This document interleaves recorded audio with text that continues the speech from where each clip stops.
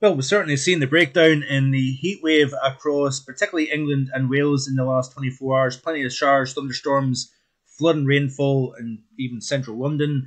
And uh, we wave goodbye to the heat wave, which I'm sure many people will be glad of. That being said, however, we are seeing a warmer day today. Cool day yesterday, even across the southeast with the showers and thunderstorms. Feeling quite humid, of course. But uh, you know, with a, deep area of low pressure up towards Iceland, as you can see here, frontal system moving eastwards. Ahead of that front, we've seen temperatures rising into the even the high twenties. This is the temperatures as of recording um, this afternoon, fresh across the northwest, warm across the southeast. Thanks for clicking on to the Thursday edition of Vogan's European Outlook. As you can see here, a deep area of low pressure uh, near Iceland we're back in an Atlantic driven weather pattern once again, and it's not one but a few systems that will uh, sweep across the British Isles over the next few days through the weekend and on in the next week. And then the question mark is what happens after that. But uh, you can see here, this is the general setup here on the pressure chart of the GFS. You can see here that uh, we've got that deep area of low pressure up towards Iceland fairly windy conditions. I've noticed here in Invergordon and the Inverness area, winds have been uh, picking up through the afternoon, and uh, you know we're seeing uh, that warmer ahead of the system moving in off France. Plenty of disturbed weather, as you can see here, across parts of the Alps, southern France, and over the Pyrenees as well on the France Spain border. And as we play through the next several days here. You can see that area of low pressure um, continuing to spin away, keeping things fairly wet, windy and showery across the northwest. Then we've got a feature that moves in during the course of Saturday, as you can see here, bringing more wind and rain across, particularly the northern half of the British Isles. And then it's all eyes on the system that comes in during the latter half of Sunday here, enhancing more shower, uh, possible thunderstorm activity from the west here. So a fairly unstable, fairly unsettled pattern. And something we haven't been speaking about for, for quite some time is the jet stream. We are seeing a big um, uptick in jet stream winds now. Nothing like winter, but uh, certainly that has not been mentioned much in recent times. Actually, you know, the summer forecast is actually one of two things. We've got the summer forecast that are released at the beginning of the summer and speak about the June, July, August period. I think June and July played out not too bad. June was the best month. July I lost a couple of marks with a couple of details. Uh, and August has been a bust, so to speak, because I thought it would have been cooler and wetter during the month of August, and that has certainly not been the case. But the, the secondary phase of forecast and long range forecasting is my monthly outlooks and I think the monthly outlooks have been pretty decent actually. And you know, at the the, the very end of July, I forecasted that we would see um, a, a, relatively unsettled start to the month of August. Then we would see a settled hot spell, prolonged spell of warmer conditions, more so than even what we've seen in July. It, eh, you know, temperatures were not as extreme as July. You know, they capped off at 34, but we had four straight days of 34 Celsius. I think the highest temperature was 34.9 at Charlwood in Surrey. And um, then we, I mentioned the fact that we would see the heat wave break down. We would have an area of low pressure that moves east, opens the door to Arctic air. We've seen that taking place, cold 850s. And then, of course, clear skies, light winds translated that cold air down to the surface. We've seen surface temperatures of uh, around the freezing mark in a few sheltered glens in the highlands. Then, of course, as the next system of the Atlantic uh, approaches. We see uh, an uptick in temperatures ahead of that boundary. We're going to see a slight decrease in temperature over the next couple of days. And then, of course, it's all eyes on next week as to what takes place. But the jet stream, with the contrast between low pressure, a very deep area of low pressure up towards Iceland, we've got a, a 1028 high um, associated with the Azores high and then in between we've got jet stream winds fairly strong for the time of the year. So we are going to see a spell of wind, rain, shower activity uh, over the next several days here. As you can see here, the jet stream fairly flat in nature, but notice that little speed max coming off uh, to the south of of, uh, of Greenland here. So we have a fairly unsettled theme, and that jet stream uh, core of winds in excess of 100 miles an hour will cross over Ireland and over parts of England and Wales during the course of Sunday into Monday. So we maintain that unsettled theme. But what I want to show you here is the forecast that I had out was based on the Madden-Julian oscillation. So this goes back to the early portion of August here when I made mention of the fact that we would have a prolonged spell of hot, dry, settled weather.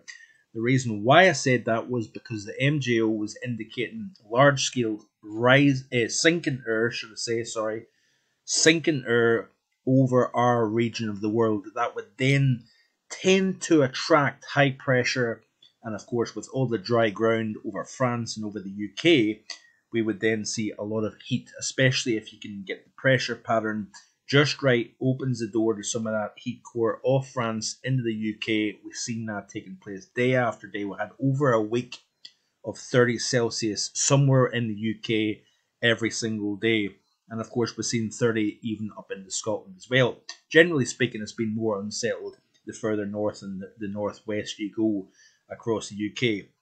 We've seen the downward trend in pressure, low pressure, and the Atlantic becoming a lot more dominant once again. That is the case at the moment, but I would expect to see into next week warmer conditions returning, but nothing on par. It won't be in the category of heat wave. The question is, how long does it last? If we do start to see higher pressure and warmer weather coming back into the UK, for the very last part of the summer. The question is how long will it last? Now, if you notice here off the this is off the GFS, and you notice here that we've got large scale sinking, even for the UK. If you notice here, the North Atlantic and, and North America.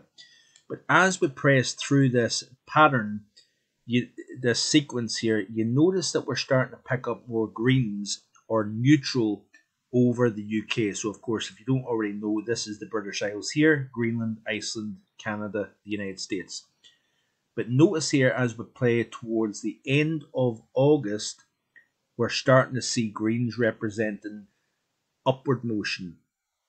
So, therefore, it would make me suggest that any kind of warm weather doesn't necessarily hold for any length of time.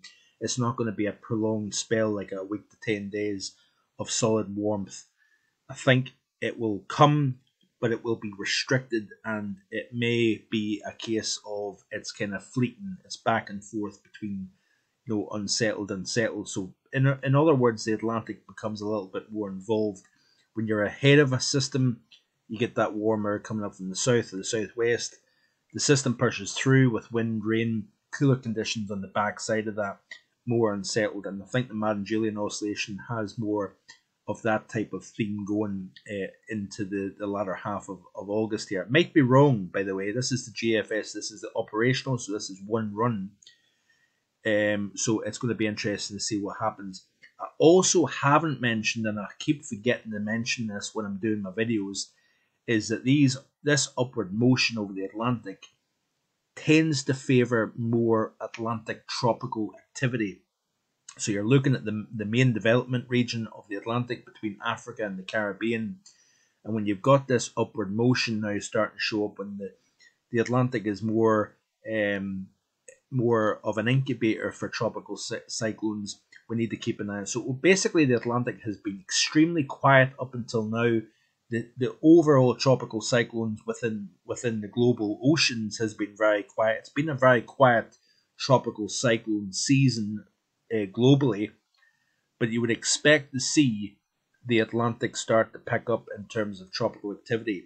And that, by the way, can also affect our weather as well, even if it's indirectly, because you start getting uh, cyclones developing over the, the open Atlantic, they're moving westwards. that release of heat potentially northwards can lead to warm, dry weather across the UK, but it also can enhance unsettled weather across the UK as well. So this is a twofold thing that we need to keep an eye on. Unsettled conditions across the UK, but also keeping an eye on the tropics because that could become more of a player, not just in the low latitudes, but also across the mid latitudes in our portion of the world. So I think overall August has been not too bad. Relatively unsettled start, warm, dry middle portion of the month that lasted longer and less extreme as the, the July version. But of course, I'm talking about less extreme in terms of the actual air temperature, the 38 to 40 Celsius that was seen. Temperatures were were this the heat wave in August was probably actually worse than the July version because it was a, a prolonged period of warmth, longer than what we've seen during the month of July. So it's, it's, it depends on how you look at it, really. But certainly, uh, this downward trend at the moment was predicted that we would see a, a, surge of colder air coming in. It would trim back the temperatures from low 30s to low 20s, so 10 degree difference. I expect to see over the next, you know, into the new work week, temperatures come back up again, better weather. But, you know, with this Madden-Julian oscillation indicating upward motion, it'll be interesting to see what takes place here. And the month of September is going to be very interesting because the CFSV2 is predicting a wetter than normal UK and Europe. So we'll watch this space. Uh, so yeah, so that's it for today. Thanks for watching. I do appreciate it. As always, please like, share, and subscribe to the channel. And I will hopefully be back again tomorrow with more. Bye for now.